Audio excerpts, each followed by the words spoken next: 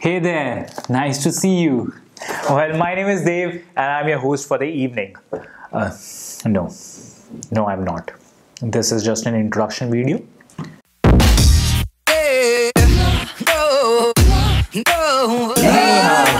Welcome to my channel. I'm going to talk to you about something very important. It is very close to my heart data science. Data science is no more just another stream of studies. Yes, there are courses. Yes, you can go back to college and learn it. Yes, it is open source. Yes, there are MOOCs available. You get my point. It's more of a skill set which you need in 21st century for any business leader in any industry.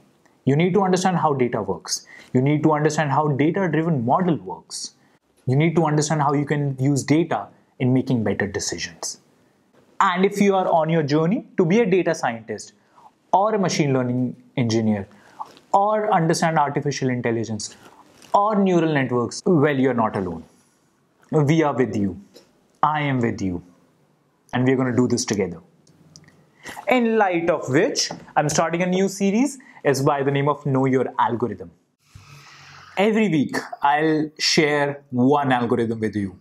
I'll talk about how it works. I'll talk about the science behind it. I'll share how you can use that algorithm in your business context. What is the significance of that algorithm? By the end of the video, you would understand how that algorithm works. You would understand how you can use that algorithm and you would have R and Python code for that algorithm. That is what you're here for, right? No, I'm kidding. But I'll give you the code to go ahead and practice to get you started. Well, I would say stay tuned. Follow me on other platforms to learn more about uh, regression, uh, nonlinear regression, supervised learning, unsupervised learning, XGBoost, KNN, K-nearest, random forest, gradient descent. Or you can click on that subscribe icon and while you're at it, click on that bell icon as well. So the next time I upload the video, you would know about it. So I will see you next week. Will I? I'll see you next week. In the meanwhile, take care and keep digging.